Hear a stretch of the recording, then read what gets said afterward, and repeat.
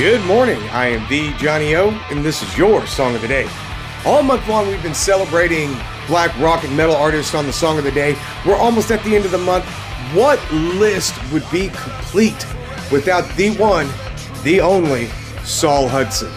Also, or well, rather better known as Slash. That's right, guys. Today we're putting the spotlight on Slash. Slash was born in Stoke, Trenton, England in 1965 in the early 70s, he moves back to the United States where he becomes a championship BMX racer and uh, ends up putting down the putting the bike in the garage and picking up the guitar and focusing solely on playing guitar.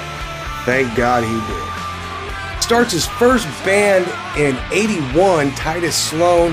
Then around 83, he runs into Steven Adler. I think they were uh, students together in school and they uh, they get together. They they make their own band, and they call it Road Crew, which they took from the name of a Motorhead song. Fucking love that little tidbit. So Slash and Adler put a ad in the paper for a drummer. Duff McKagan answers that ad. So there you go. Now you've got Slash. Now you got Adler. Now you got Duff. So later on, they uh, meet Axl and uh, Izzy and his original band, I think it was Hollywood Rose was the name of the, his band. Slash, Duff, uh, Adler, they come in, and now you got Guns N' Roses. Now this is the, uh, what is it, the, the abridged version of this whole event. Slash is with Guns N' Roses from 85 to 96, where he ends up leaving Guns N' Roses because of creative differences.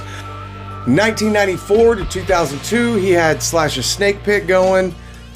From 02 to 08, he was a part of Velvet Revolver. God, I miss that band.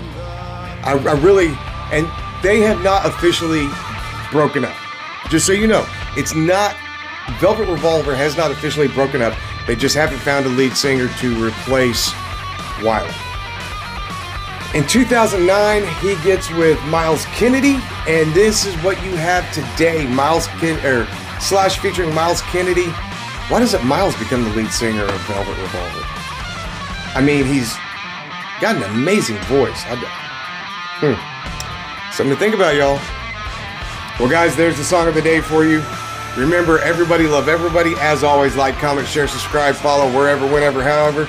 I love you guys. Have an absolutely beautiful day.